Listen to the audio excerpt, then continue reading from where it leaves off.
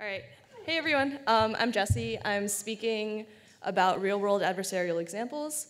Um, so I'm from MIT. I do work at uh, Josh Tenenbaum's Computational Cognitive Science Lab, but I also work with this independent student research group called Labsix. Um, so our team is currently five people, made up of MIT like undergrads and PhD students. It's entirely student run, so we don't have any like um, formal advisor or um, anything like that. Um, and I'll, I'll, be speaking about adversarial examples. Um, so I guess for a brief primer for those of you who aren't familiar, adversarial examples are examples that are designed to fool machine learning classifiers in a certain way. Um, so on the right here, uh, uh, sorry, on the left here, you have a tabby cat. Um, a normal like state-of-the-art image classifier would have no problem identifying this with high confidence as a tabby cat. Um, but given a certain kind of noise applied to the image, we actually find that adversarial examples or these um, images that have barely imperceptible noise to the human can fool machine learning classifiers with high confidence and basically make it classify it as whatever an attacker adversary wants it to be. Um, so just to talk about kind of the high level goal of this talk, what I'm concerned about, or what our group is concerned about, is whether adversarial examples are a real problem for practical systems. So adversarial examples were actually first talked about like way back in 2013, but has really started to um, become popular in the research community recently in the last few years. And there's been a lot of talk about like, oh, you know, like we're starting to use machine learning in all these real systems. Um, is this something that we actually need to be concerned about, or is it just a kind of theoretical curiosity? And the goal of this talk is to show you that, yes, it is a real kind of consideration um, in practical systems, and we are able to make attacks in these kinds of practical settings under very limited constraints or um, threat models, as I'll go over later. So just to go over like um, the work that I'll be going over. We have two papers. Um, both of these were presented as posters at uh, ICML this past summer. Um, the first one is called Synthesizing Robust Adversarial Examples, and that's basically how we generate 3D adversarial objects. Um, the second paper is Black Box Attacks with Limited Queries and Information, and that's talking about how um, when you have these machine learning systems deployed in the real world, like let's say Google's machine learning classifier, uh, uh, image classifier, um, you don't have access to their proprietary models, algorithms, data, um, and there's often kind of limits on the kind of queries you can make or information you have about the system. Are you still able to generate these kinds of examples that fool the classifier in these kinds of cases? Um, and then I'll talk a bit about maybe high level what this means for security, for machine learning, and all sorts of other things. Um, Cool, so I kind of talked about what adversarial examples are. Um, so this is the image that I showed before, and all we've done is applied some kind of imperceptible noise um, bounded by some epsilon. So um, you can like set this constraint, but basically um, it's imperceptible to any human, and um, we can general, generate these reliably. So this is an example in kind of real-time demo. Um, so this is a tabby cat, but after a few iterations of this um, generation procedure, you can see that it starts to be classified as a guacamole with high probability, even though it basically hasn't changed visually. And it's not just like the particular class guacamole, you can make it look like whatever you want. Um, it can be a lionfish, it can be timber wolf, flamingo, stove, whatever your imagination comes up with. Um, so how does this work? Um, and the idea behind it is actually very simple. So the way we train like a typical deep learning model is you have some image or input that you feed into a model, and then you get out predictions, which come in the form of a distribution over classes. Um, and the way that you train this model is you say, okay, like, how do I optimize the weights of my model so that I maximize the probability of the actual real target class um, given like this image? And when you generate an adversarial example, you apply that kind of same reasoning, except now you're saying, how do I change my image so that I maximize a particular adversarial class? And it's formulated in exactly the same way, so we use gradient descent. We say, take the gradient of the target class, like the adversarial class, with respect to your image, and then just like perturb your image step by step until you get to some adversarial image, um, subject to some constraints on like, oh, we want the image to be visually similar, so we're going to um, do this kind of uh, clipping procedure that I'll kind of describe now. Um, so in code, this kind of looks like this. Um, and this is literally all it takes to generate an adversarial example. You go through your iterations and you say, um, I'm going to evaluate like my gradient with respect to my input. I'm gonna like, oh, I don't know why it's flashing, sorry. Um, so I'm gonna update my image and then I'm going to clip it so that um, my adversarial image is within epsilon of the original image. Yep. So that the cat still looks like a cat too. Right. Uh, so that's this step right here. So um, yeah, yeah, no problem. so when you do the gradient descent step, you don't want to like actually make your cat into a guacamole. You want it to be clipped within an epsilon ball around your original cat image. So um, it's a certain kind of pixel distance or L2 distance. Um, so one natural question from here is, um, do these kinds of examples uh, translate over to kind of real world settings? And there was this work done by Kurakin et al. in 2016 um, that kind of printed out these images um, onto sheets of paper and then looked at, for example, like, oh, if I um, try to classify this with a phone camera, um, do these images still appear adversarial given like lighting conditions and like um, maybe like camera sensor noise? And the answer that they found was yes. Um, so this was like kind of preliminary work in like translating these kinds of adversarial examples to the real world.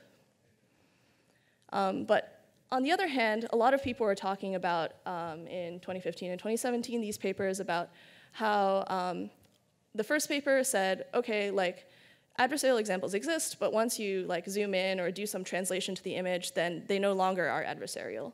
And then the second paper was like, yes, so like in a situation like a self-driving car, where you're driving by this stop sign, it's only adversarial. Um, so in that third frame, it's the stop sign is identified as a sports ball. Um, but once you drive past it or once you're like slightly at a different angle, then it no longer looks adversarial because it kind of depends on this particular arrangement of pixels in the image in order for the classifier to be fooled. So the conclusion was um, a very kind of confident, no need to worry about adversarial examples in object detection in autonomous vehicles. And as we uh, showed, that is actually not the case. Um, there is a need to worry because you can generate adversarial examples that are robust to um, kind of translations and transformations. Um, but in the typical case, let's say, so this was our original adversarial guacamole cat, um, you see that once we zoom in just a tiny bit, like barely imperceptible amount, um, the original class immediately becomes um, the top class again. So this was the topic of our first work, synthesizing robust adversarial examples. Um, and the key idea here was instead of optimizing your image just by itself, we're going to optimize it over a distribution of transformations. So recall earlier that we wanted to optimize the probability of like some target class with respect to x. Now we're going to say, oh, we want to um, optimize this image over some transformations that we can model in the world that we expect like um, let's say our self-driving car or like our image classifier to encounter, and we want this kind of um, adversarial example to um, persist over that distribution. Um, and again, like our distance metric from earlier also translates um, in this translated space, like we want it to remain within the epsilon ball.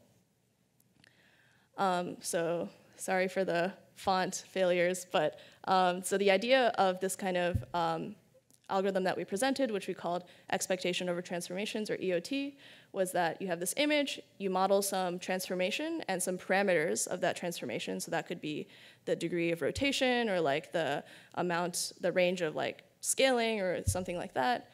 Um, and these are ra randomized, so you sample them. And you know the distribution because you can model kind of what you expect to see. Um, and now, again, like I mentioned, um, we're going to optimize that target adversarial class given that we know this transformation is being applied to the image. And to do this backward differentiation, you have to note that the transformation should be differentiable, but this is fine because most of the transformations we're concerned with are simple kinds of things that we can differentiate through easily. So this is like, again, similar to the step that we had earlier, except now it's over a distribution. And as we can see here, applying this method, no matter how much we zoom in, it still persists. and then also this was kind of, um, that was in simulation, and now we wanted to see like, um, kind of in this Kurakin et al. setting, if we print it on a piece of paper and have all these factors like noise and lighting and like weird rotations and stuff, does it still persist? And again, we saw that the answer is yes, so this is a cat identified as a desktop computer.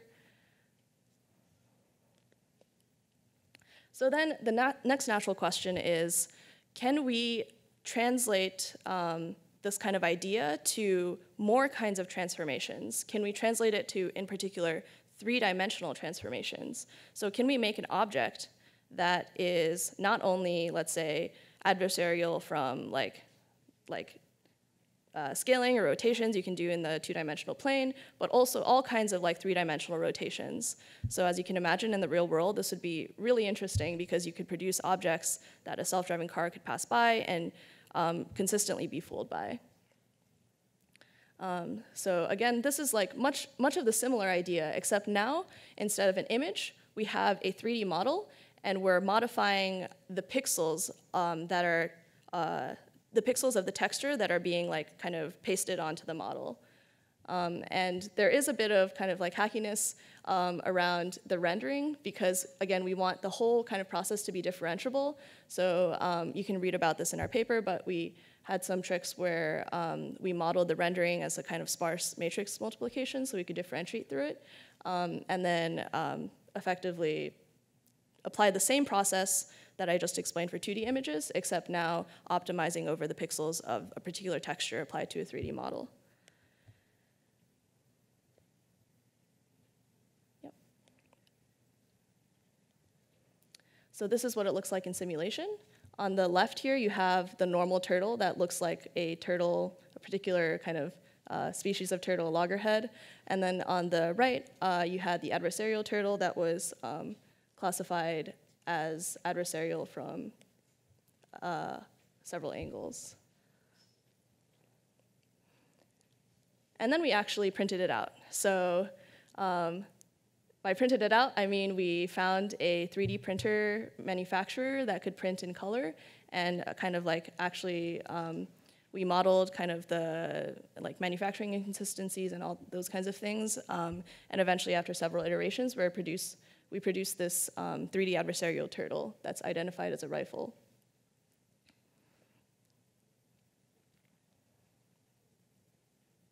So this is Google's Inception v3 classifier we're concerned with. The class is over there.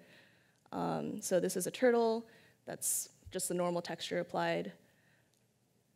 And then we have this adversarial turtle that looks like a rifle from all angles.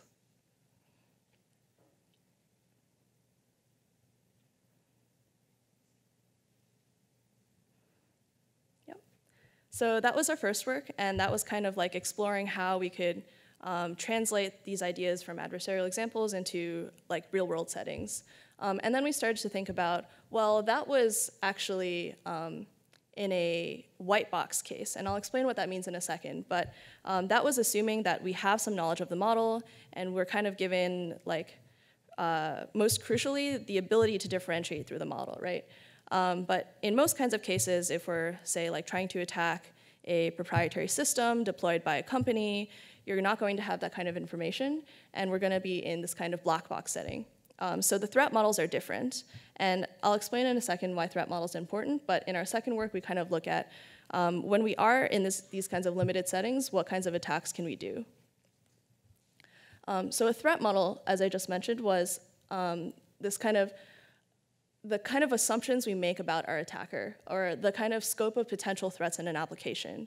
Um, so in the white box case, you can assume um, you know, the attacker has access to your model, they can differentiate through it. In the black box case, you might say something like, well, um, I'm going to assume that like my model is secure and like the outside world only has access to it through this kind of like API or something. Um, and uh, given this kind of threat model, what kinds of attacks, what is the worst thing that an attacker could do in this kind of setting. So why are threat models important? Well, you can't develop a secure system without considering what you need to secure against. And I think this is kind of like an idea that seems intuitive, right? Um, but I think a lot of people maybe um, approaching security might think like, oh, okay, like to build a secure system, I need to secure against like all kinds of possible threats. But in reality, at some point you have to say, okay, these are the class of threats that we're not going to address, right? Like we're not going to assume that like our employee is like, uh, our, uh, our employees are going to like give away data and like all these things. We're going to say, assuming we can trust our employees, um, and assuming like these kinds of things about like what people have access to in our system, these are the kinds of threats that we're concerned with and the threats that we're going to focus on securing.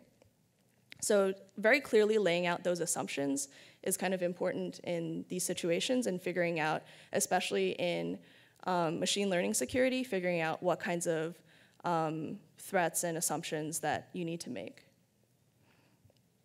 So when we kind of think about the threat model, we're asking what are the bad things that an attacker could do?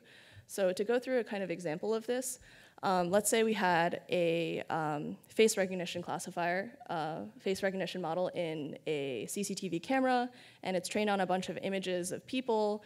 and given those images, it's learned to recognize like, oh, I've seen this uh, picture of a person in my uh, like database of faces, and if I see them on my camera, I can say, oh, that's Jessy. So one kind of attack that you can do in the system is if you're in a threat model where you say that um, the servers that are storing our data are not necessarily secure, then like maybe like someone could um, hack into the server and like delete my face from the data set and retrain the model, and um, that is a valid kind of attack, right? Um, but in many cases, that's not the kind of attack that we're concerned with because we don't care about kind of this like very far out case where like the attacker can get like access to many different things and um, like train the model, retrain the model, and uh, do all of these kinds of uh, kind of uh, free, like freely allowed attacks. Um, in particular, let's say like, oh, we say we're in a threat model where we can secure the server. Then what kinds of threats are we concerned with? Um, and then in that kind of case, we can say, well, given this threat model where the attacker only has um, control over the inputs to the system, this, the class of attacks that are possible are this and that, and um, here is like the kind of um, defense that we have to make in response to that. So kind of the point I'm trying to make is that adversarial examples are important because they expand the set of threat models that we need to be concerned with. Um, an attacker doesn't need much access at all. Like they don't need access to like the data, the algorithms, the model, the, the kind of server that the data is stored on. All they need to do is modify the input. And given that kind of threat model, it's very hard to think of like, oh, okay, like in normal security, we have all these practices to like uh, defend our servers. Um, but what do we do when we can't restrict people's access to like inputs to the classifier, right? Um, so in these kinds of cases, we need to start thinking about like um, defenses from the machine learning theory perspective. Um, and I'll kind of talk about at the end uh, work that's being done in that vein. Um, but this is kind of the concern with adversarial examples, that we don't really need much access at all in order to do very bad things to a system. So as I talked about earlier, um, coming off of our previous work, we asked what happens when um, attackers don't have complete access to the target system. So in the previous work, that was white box, and in many of these kinds of adversarial examples work, um, they consider this white box case where you can differentiate through the model and get that gradient very easily. Um, but what happens when it's black box? So um, when we don't have access to the gradients, there's kind of many different ideas we can exploit. And one idea in particular from Papernot in 2016 was, what if we, um, let's say, like had a different model that we had control over that kind of mimicked the model that we're trying to attack? So we could, you know, like feed some inputs through this black box model that we don't have control over, um, figure out kind of like its decision boundaries, um, and then retrain our own model and um, use that to determine the gradients. And it turns out that because adversarial examples have these kind of interesting properties that it transfers between uh, different models, like an adversarial example for one model, uh, one image classification model will often transfer to another image classification model. We can exploit these, um, this transferability to generate black box adversarial examples. The problem is that um, in practice, this is often hard to train, and um, like especially for targeted attacks where you're trying to elicit a particular adversarial class, um, you can find that the results are often inconsistent or it doesn't transfer 100% of the time. So another method is what if we could estimate the gradient? Um, so from recalling your days of high school calculus, you can kind of approximate a gradient by taking finite differences. So around a point, you could take the uh, derivative at that point, or you could take like um, that point plus a little bit, minus a little bit, and find the slope between those two points. And that's just the basic idea behind gradient estimation. Um, the problem is, in previous work, like, uh, like uh, this paper called Zoo. um, they have to run finite differences on every single pixel to figure out, okay, how should I modify this pixel um, to like move down the gradient? How should I model this, uh, modify the second pixel and so on for like an image that's like 299 by 299? That's like lots and lots of queries. And in these cases, like in the real world where we're talking about um, like APIs that have like these rate limits and you can only like perform a certain number of queries per minute or like per dollar, um, we want to think about how to circumvent these time and money limitations. So what we um, came up with was this uh, application of evolutionary strategies, um, which are more efficient gradient estimates, efficient, uh, essentially. Um, so the idea is instead of using the full gradient, use the expectation of the gradient over a search distribution. There's a nice kind of blog post about this, so I won't go over much detail, but basically um, you sample a bunch of points and then use that search distribution to calculate a better gradient. And this is the blog post that I will refer to um, to get some intuition for how that works. But basically, we're able to get better gradient estimates in fewer queries. So this was kind of the distribution. Um, you can look at the results in our paper and comparisons to other papers um, in the details as well. So with regards to this question of white box versus black box, the attacker does not need access to the internals of the model to do an adversarial attack. Then the next question we asked was, what if the attacker doesn't have access to all the predictions of the network? Um, so in the case of like the Google Cloud Vision API, they might only give you like the top K classes. How is this different from the traditional setting? Well, now we can't do something like say, I want to make this rifle look like a cat, because we don't have the probability of the cat in the top X classes, so we don't know how to optimize for that. We don't know how to um, take the gradient with respect to that class. So if we wanted to perform targeted classes, this is kind of problematic. So the idea that we had here was, what if instead of you know, optimizing directly for that target class, you start with an image of your target class so that, you know, like let's say I wanted my, um, my rifle to look like a cat. I start with an image of a cat and then maintain that cat class in the top K probabilities while gradually making the cat look more like a rifle or whatever image I actually want to make adversarial. Um, so let's say in this example, we want the target class to be car, so we start with a picture of a car. Um, and then we take a step towards the original, so this just looks like clipping it to a smaller and smaller epsilon ball around the image that you actually want to be adversarial. And then you take the normal adversarial step where you try to make, like, maintain the car in the top K classes. And you keep repeating this kind of iterated process, and then stop when the image is within some epsilon of the image that you actually want to make adversarial. So again, like we had this image of a cat that we wanted to make adversarial. So we started with the car, we kept the car in the top K classes, and we gradually made the car look more like a cat. So what this looks like is you start with a dog, you keep the dog in the top X classes, and you gradually make it look more like a skier while trying to keep that German Shepherd in the top five classes. So we did this on Google Cloud Vision and found that indeed you can get this picture of a skier to look like a dog. So what if you had even less information, right? What if you didn't even have access to those probabilities, you just had access to the labels? Now this is like, kind of like covers maybe the majority of machine learning applications nowadays where you get like um, like maybe on Google Photos, like a list of tags for your photo. Um, they assume that you're not like the average machine learning researcher. You don't really care about the probability that your um, face is like 90%. Um, can we do an attack in this kind of setting? Now, again, the problem is that we need something to optimize for, right? Um, and now that we don't have the probabilities, what can we do? Well, the idea is what if we could use some kind of proxy for that probability? In particular, what if we could use noise robustness? So um, if we want our image to be very, like, quote unquote, strongly adversarial, that image should be adversarial even when we add a little bit of noise to it. So say this image of a cat, um, we add a little bit of noise, um, so in like multiple kind of deltas, um, and then we look at the ranking of our desired adversarial class, the guacamole. We figure out this kind of like proxy score. Um, so in this case, um, R of x is the number of classes minus the rank of the target class. So the higher it is, the better, right? Because we want guacamole to be in the top class. And we do this for each of the images that we've perturbed with some noise.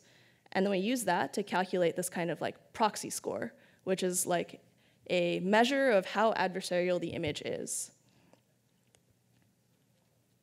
So um, this is like the kind of precise formulation. Um, so for the score x, zero means that um, all the images in the like vicinity of this adversarial image are classified correctly. So you get, it's like a bad adversarial image. Um, and s, s of x equals one means everything around the vicinity is adversarial. So it's a quote unquote good adversarial image. So the nice thing about this score is that it's continuous even when we only have one label. You don't need probabilities to calculate that ranking of the labels. And S of x can take on many values, making our original method of using finite differences meaningful and applicable. So in practice, we do this with a Monte Carlo approximation, which is just the process I showed before, where you take many samples um, of your image plus some noise. So we showed that in both the partial information and the label only case, which are increasingly realistic kind of threat models, um, the attacker does not need access to all the outputs of the system to do this kind of adversarial attack. And these are our kind of results um, quantitatively, which you can refer to our paper for more details if you're interested in that. Um, but the conclusion here is that adversarial examples can be practically and efficiently constructed in these kinds of real world settings. So what we need to consider from here is ML systems that are built with security in mind. So right now, a lot of researchers in this area are working on both attacks and defenses. Um, and there is no kind of um, working defense for adversarial examples. So the solution is not available or easy or simple. Um, it's kind of a very cat and mouse game in the field where like researchers come up with defenses all the time, then find out like um, like it's broken within like the week. Um, and a lot of the problem is maybe not thinking clearly about these kinds of threat models and what kinds of assumptions you can make when attacking these systems. Um, so what we need in both research and industry is this kind of more security focused mindset, which um, is gradually permeating into the machine learning community, um, but thinking more in terms of like evaluating how robust these kinds of systems that we're depending on for day-to-day decisions are and working gradually towards the theoretical understanding of deep learning that we need to actually make these models robust to adversarial examples. So again, like people are working on this all the time and companies are concerned about this as well. Um, and awareness is kind of the key here so people can continue working on these kinds of things. Um, so that's our talk. Um, if you have any questions, feel free to email. Um, we also have code available on GitHub for both of these papers if you want to replicate our results. Um, and thank you.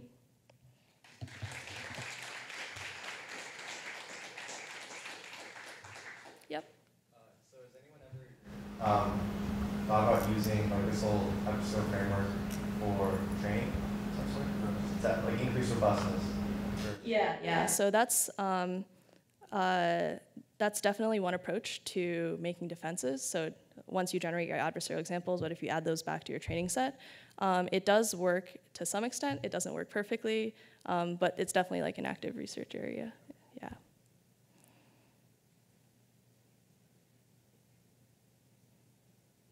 Cool. Thank you.